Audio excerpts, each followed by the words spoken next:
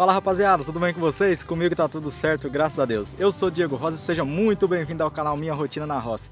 Galera, o vídeo de hoje tá bem legal porque hoje nós vamos entrar aqui na roça para cortar o arroz, pessoal.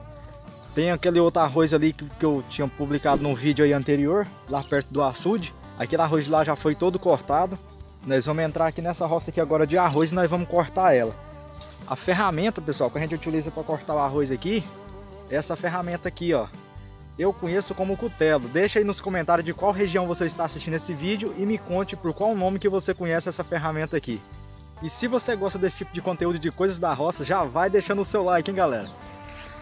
Aqui antigamente, pessoal, pessoas faziam aquele cofo, pegava palha no meio do mato e fazia uns cofos que é um estilo de uma bolsa para colocar no ombro. Aí as pessoas iam com a faquinha e arrancando cacho por cacho e ia colocando, deixava só os pezinhos de arroz mesmo para depois soltar gado para poder comer. Hoje é diferente, a gente hoje as pessoas utilizam mais essa ferramenta aqui que é o cutelo para poder fazer o corte. O corte fica desse jeito, ó.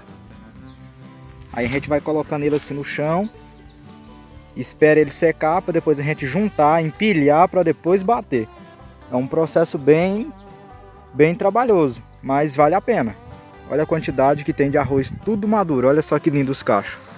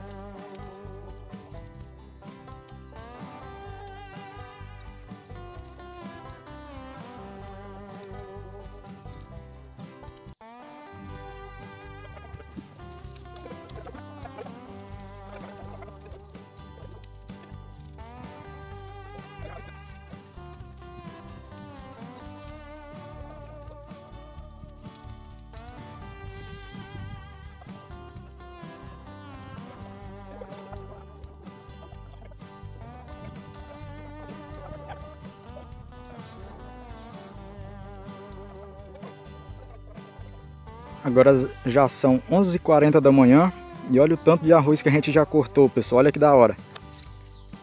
Aqui tem essas moitas aqui, tem esses matos aqui que às vezes atrapalha ver. Porque esse mato aqui cresce demais. Mas olha o tanto de arroz que, que já tem no chão. Ainda falta bastante ainda, tem muito aqui ainda para cortar. E é isso daí, pessoal. Olha só como é que é o processo.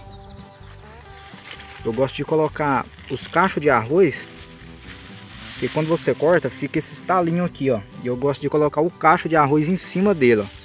Caso se vier chuva, não estraga os cachos de arroz.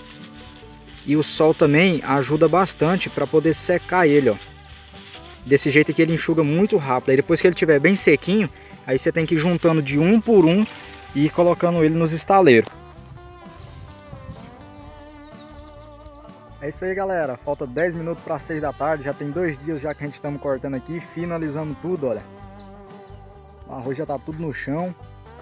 Agora é só esperar ele dar uma secada para poder juntar ele e colocar aqui em cima desse estaleiro, pessoal. Vou mostrar para vocês como é que é o processo aqui do estaleiro, olha que bacana.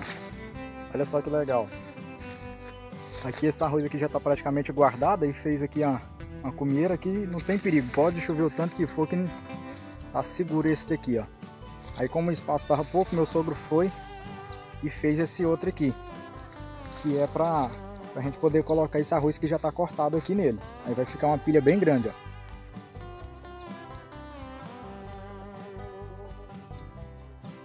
Pessoal, vocês conhecem essa, essa planta aqui, ó? Olha a altura. Já deve dar aproximadamente uns 4 metros, 5 metros mais ou menos. Essa aqui é a famosa cana. Pessoal pensa numa cana boa, docinha, hein? Aqui tá os porquinhos. Os porquinhos também tá no meio da roça de arroz, pessoal.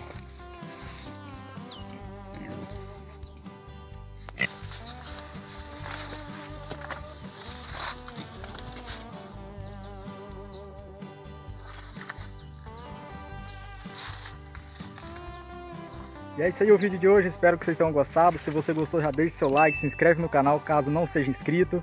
Vou ficando por aqui, fiquem todos com Deus e até um próximo vídeo, se Deus quiser.